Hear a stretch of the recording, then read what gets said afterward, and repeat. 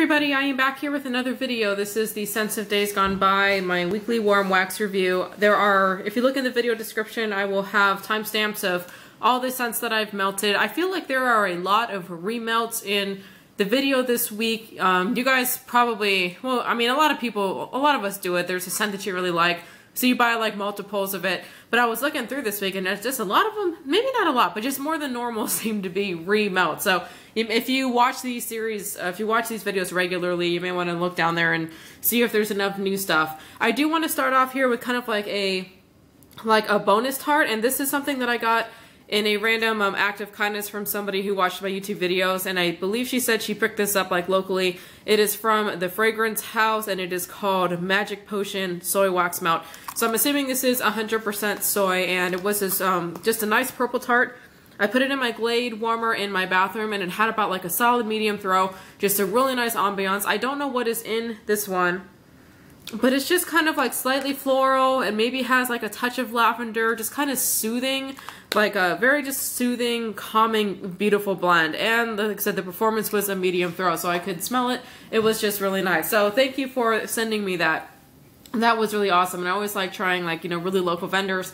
I'm going to document that one as well. So if I ever run across it again, I'll I will have to buy some. Okay, the next one I want to discuss is a Life Deliberate Soap Company, and this one is in buttered maple oats and honey. These were like two uh, brain tarts, so I melted one brain at a time.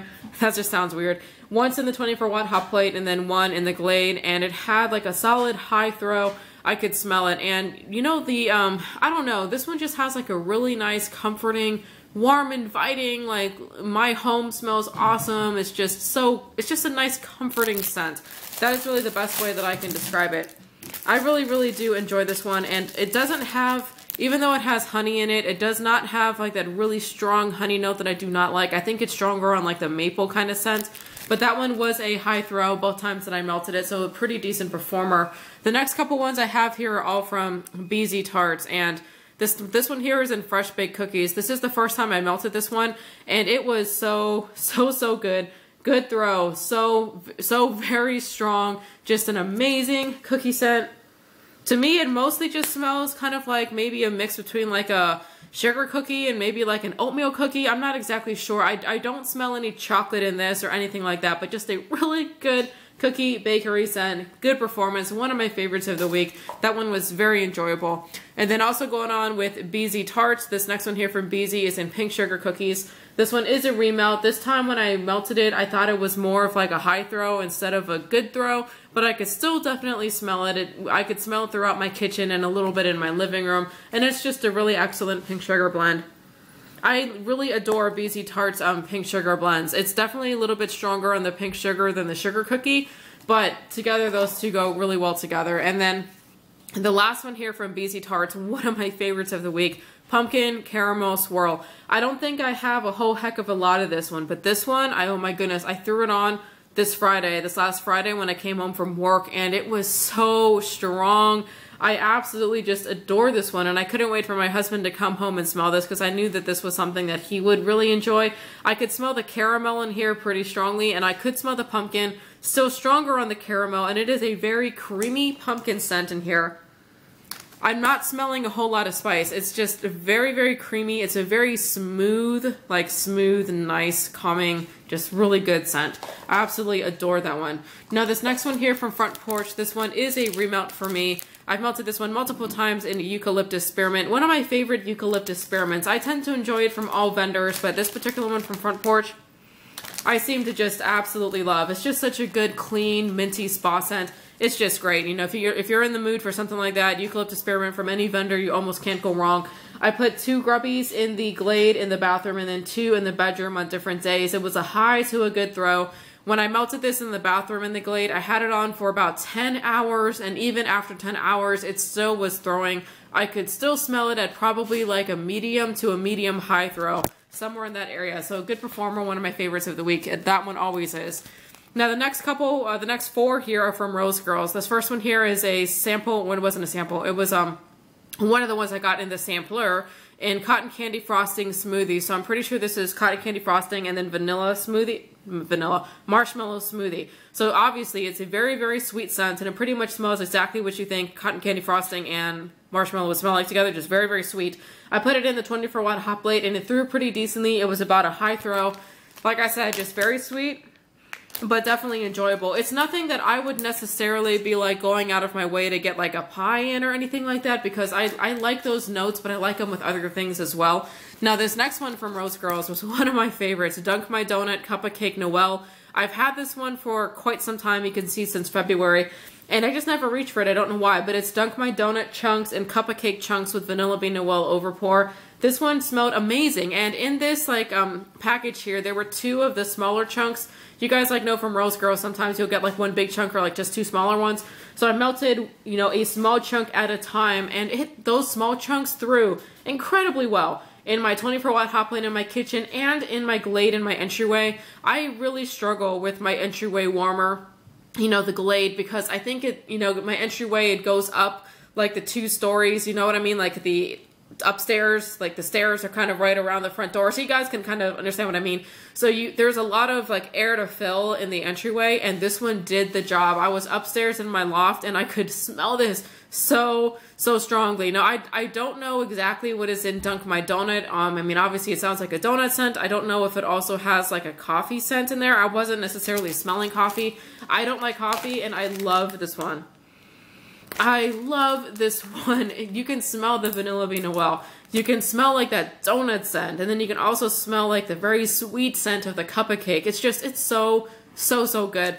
This one, if next time I'm going to place an order, if I'm lucky enough to place an order the next time they open for customs, that one I want in like at least a pie of, or a two pound loaf. That one is really, really good. This next one here from Rosegirls is Earth Angel, and this one also had like two of the smaller size chunks in it. This one is Lavender, Sinfully Sweet Pops, and Vanilla Ice Cream. It is a really, really nice scent. I do enjoy it, and I definitely would not necessarily mind getting this in maybe like a, maybe a loaf or something like that. It is really, really good. You can definitely smell the lavender, I think probably the strongest. Initially, I thought there was pink sugar in here because I was getting like that really sweet scent, but maybe that was coming from the Sinfully Sweet Pops. I don't know but I do really like it. I put one chunk in the Glade in the be bedroom and one in the bathroom in the Glade and it was like a medium to a high throw. I could definitely smell it, but it was not like one of those scents that was just like, you know, enveloping you in smell or overpowering. Not like that, but a medium to high throw. Definitely noticeable. I could smell it and I could enjoy it, but not like super duper strong. But yeah, that one is definitely like, I think, one pound loaf worthy, at least to me. Now this next one here, last one from Rosegirls, this one was one of my favorites of the week, Singing in the Rain. And I've heard a lot of people talk about this one. It is a secret Rosegirls blend. It's like spa and clean and fresh. And I know, I don't know, it's just, it's really, really good. I think I can smell some kind of floral in there. I think it has like some kind of floral note and maybe some kind of like watery kind of note. I'm not sure, but it's really, really good.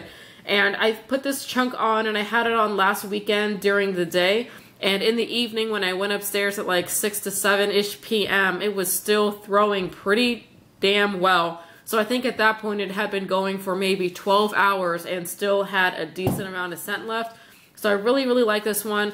I know recently, Jenny, um, I'm in the round of Rosegirls orders that are being poured right now, and she very generously offered for, I think, up to five of your blends to be substituted out um, in your order just because like, you know, the, the tat is getting a little bit longer and that's, that's the good way for people who maybe your preferences change over the past couple months or as like the holidays come up, you got other scents on the brain. And I did substitute out one of my pies for an, an entire pie in Singing in the Rain. That was before I melted that one, but it had enough good reviews from a lot of people that I, and I had smelled it, that I, that I knew that that one was going to be a winner. Now the next one here is from Sassy Girl Aroma, and I got this in a swap I did with somebody in the wax community, holla, in Serendipity birthday. I'm not a huge serendipity person, but I put this on the Glade in the entryway because my husband does enjoy coconut scents. And he was walking around and he said he could really smell the coconut. So he definitely enjoyed this one here. And I would call this one a high throw overall. Serendipity is something that like I melted a lot when I first got into wax and I haven't melted as much of it. If you guys are newer to wax, Serendipity is a blend I think with like coconut, cherry, And there's a couple other things in there, but if you like those types of scents, it's definitely a good blender with a lot of things, but this was definitely a decent performer. So thank you for that one. You know who you are. Okay, now the next one here is from Starlit Candles. This one is a remount in Crystal Palace. One of my favorites from Starlit. Pink Sugar, Snow Taffy, Vanilla Noel, Peppermint, and a hint of Spearmint. It's just such a good frosty scent, and I think it's probably the strongest on the peppermint, and then maybe the pink sugar is probably the next one that I can smell. But I put three cubes in my Glade in my bedroom and then three in the bathroom. Solid, high throw. I could smell it. It also threw for a long time. This one I had kept on overnight and in the morning I could still smell it. So decent throw, long throw. One of my favorites of the week. One of my favorites from Starlit overall. Now this next one coming up here from Super Tarts is one of the ones from the Fright Night restock in Jaws. And this one did get voted back in her favorites restock. The one that is no longer open, but I think she's working on now. And this one is a spa scent. It's sea salt, fresh air, sea grass, sliced plum, and sweet pear. It's definitely really nice. And it does have a little bit of that darker scent, I think, because of the sliced plum. So it doesn't have like really light fruit notes. To me, at least, it has more of like a fruit note versus like a fruit note or something like that. It's, but I really do like this one. It's not I like it, but I don't love it. I think I prefer my spa scents with more like peach and nectarine for me are the ones that I tend to prefer, but it's still definitely a good one. And I know Brandy absolutely loves this one. In terms of throw, this one was a high to a good throw. I melted it in the 24 watt hot plate in my bedroom and then also in the Glade warmer in my bathroom. This one also got melted overnight and the next morning it was still throwing. It still had scent. So that one did pretty darn well. This next one up from Super Tarts is Strawberry Glazed Donuts. I really love Brandy's strawberry scents. I I don't know what it is about them, but they just, every time she has strawberry in anything, it just, to me, smells amazing. So this is a really good, very sweet, kind of like glazed strawberry. Well, strawberry glazed donuts, but definitely smells more like a strawberry jam or strawberry glaze. Very, very sweet and sugary, along with the bakery donut scent. This one in my 24 watt hot plate in my kitchen was about a medium high. It's one of those scents that I could smell it when I was like looking for it or when I was in the kitchen. But I was like, I think I was playing Xbox with my husband. And one of those things that like when I'm playing Xbox and I'm focused on the Xbox, I don't even, I don't recall necessarily smelling it until I stopped and maybe took a break to come to the kitchen to get a glass of water. And then I could smell it. Kind of one of those scents. So I would call that a medium to a high throw, but a really, really, really good scent. Next up from the Bathing Garden, this one is Pomegranate Lime Sweet Tart. And this one, she just calls it tart lime and pink pomegranate, sweet and tangy. And it that, that is pretty much exactly what it smells like. Sweet and tangy. It does smell either like maybe an icy drink or the candy. Definitely something edible, I guess is what I would call it. Well, it's pomegranate and lime. Of course it should be edible. Okay, so this one I melted... Um, melted three cubes at a time, once in the 24 watt hot plate in the kitchen. When I was melting it in the kitchen, I was lying down on my couch, and, and sometimes when I'm lying down on my couch, I don't smell things as strongly, but like if I lift my head like above the back of the couch, I can smell it. But when I was lying down, I could smell it. So I was like, oh man, I'm like, that one must be throwing pretty damn, like damn well, so because I could smell it. But when I got up and I started moving around, for some reason the throw just wasn't as strong as it seemed initially when I got that first like hit of scent from this one. So I'm going to call this one a medium throw overall because for the rest of the time it was melting, I had a harder time smelling it unless I left the room and then came back in and then I could smell it. It was like one of those. But it's a really nice scent. If it ever comes up again, I might grab like one more to just to try it out again to see if I can get like more of a high throw out of it. But it's not one of my favorites from the Bathing Garden, so I wouldn't go crazy for it. Um, the next one here, uh, my wax is falling all over the floor. The next one here is from the Spotted Hog, and I don't understand why she doesn't like to put the labels on here of what it's called. I mean, I, I, you can see that this is over a year old now, but it was her Teddy Graham Whippet, which is her Honey Graham Cracker Supreme and vanilla frosting um, blended together in the Whippet. Really, really good scent. My husband really liked this one. Um, I put this one on on Friday in the entryway when he was coming home and he came in and he could smell it. I could smell it from the loft. So I would say a high throw, which is pretty darn good for something that is a over a year old, so I was duly impressed with the quality of the wax. I just thought it was like a nice spicy bakery scent. I mean, it's it's smells supposed to smell like a honeygram, and it, it does. So that's kind of what it is. Nothing else I can say about that.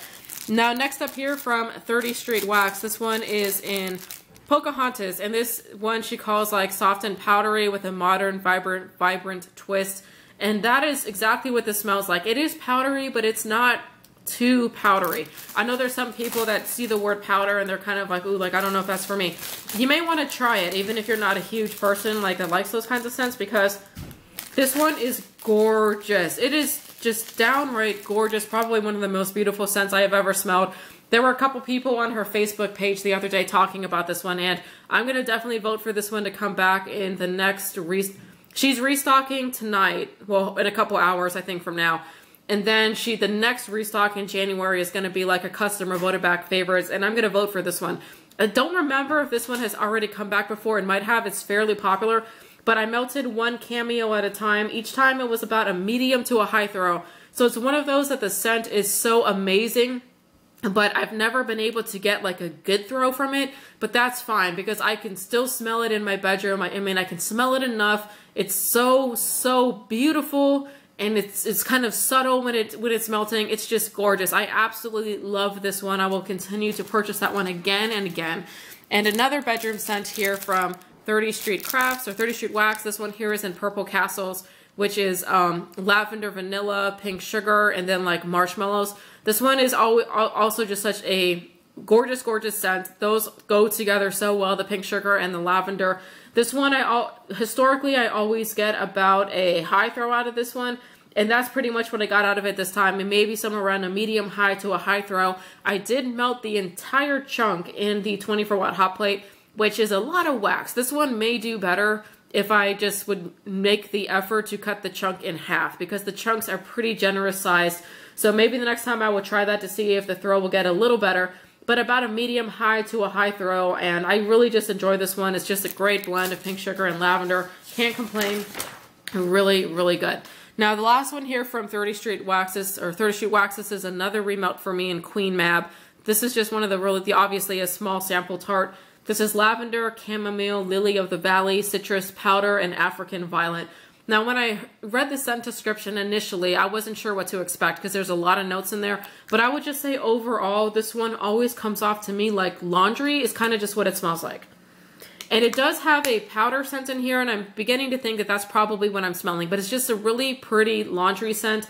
I put this one on in the Glade in the bathroom and it was like a medium to a high throw. It scented my, my bathroom pretty darn well with this one little scent shot. So that was definitely a pretty decent performer and I do enjoy that scent. Next up here from Two Timing Tart, this one is in Pride and Prejudice. Another remelt for me. This is one of my favorites from her. Linen, Amber, Sandalwood, and Musky Vanilla.